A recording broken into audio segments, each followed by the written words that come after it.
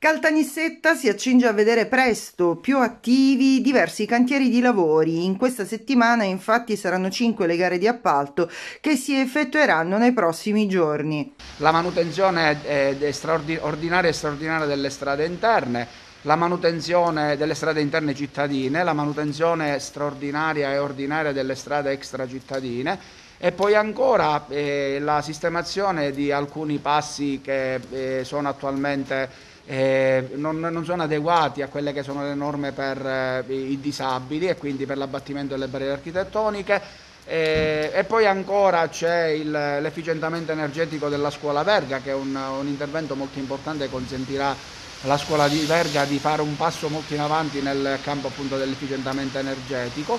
e poi come non dimenticare le rotatorie di via Catania e via, e via Leone XIII che anche queste andranno in appalto appunto in questo periodo. Insomma c'è tanta carne al fuoco e probabilmente miglioreremo la, anche la qualità della vita di, della città grazie a questi interventi.